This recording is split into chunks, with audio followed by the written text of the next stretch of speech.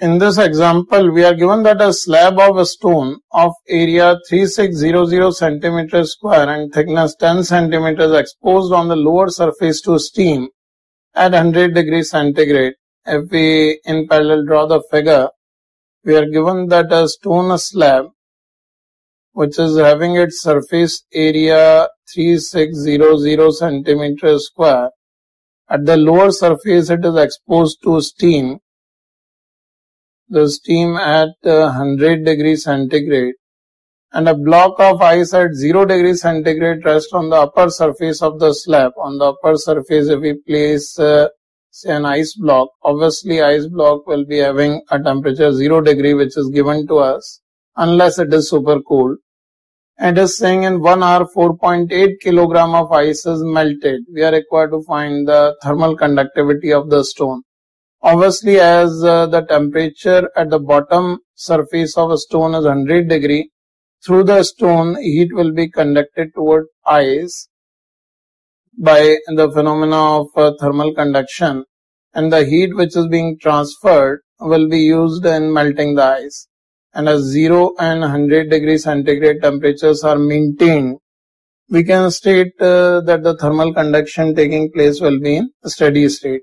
So we can write under a steady state,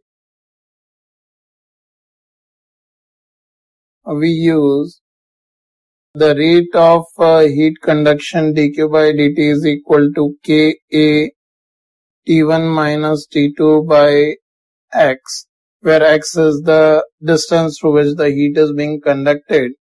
And this dq by dt can be directly written as the amount of heat uh, which is supplied to melt 4.8 kilogram of ice in one hour.